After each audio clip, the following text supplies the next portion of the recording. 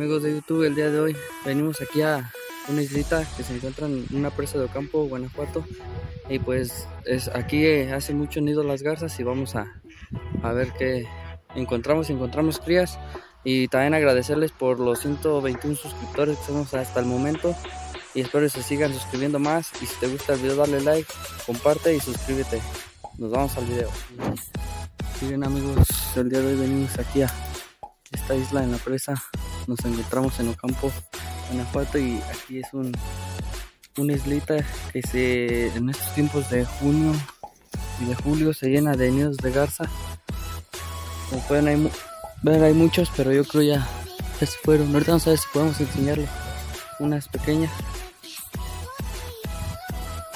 Como puede ver amigos, ahí encontramos una cría de garza. Está muy pequeña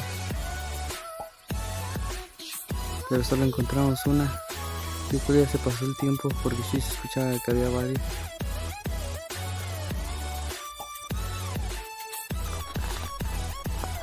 Seguimos buscando amigos, crías, a ver qué encontramos. Más que este es un nido de pata, miren. Este huevito. Pero no sé si todavía lo estén cuidando o no. Pero ahí están huevos. Aquí están los nidos, no sé si sea de pato. Vamos a seguir buscando. Por ahí arriba todavía pueden ver que hay más nidos. Esperamos encontrar alguna cría para mostrárselas. Miren, hay nidos ya en el suelo. Y arriba se pueden ver que hay más. Lo que nos encontramos aquí.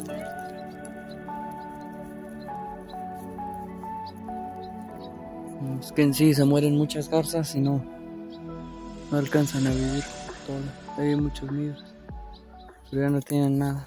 El amigo Juan quiere hacer patitos, vamos a ver quién hace más. Ahí va el primero.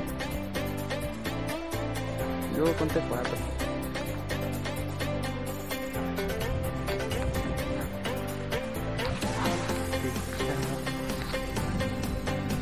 Ahí está vaquera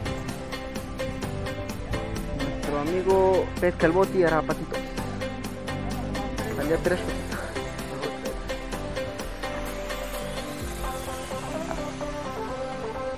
¿Cuántos? Como ¿Diez, no? 10 patitos. A ver, dale. Traemos a la mascota el día de hoy.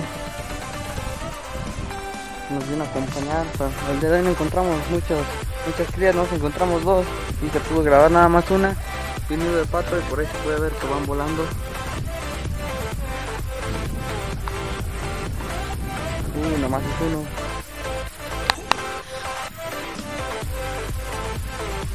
Cuatro.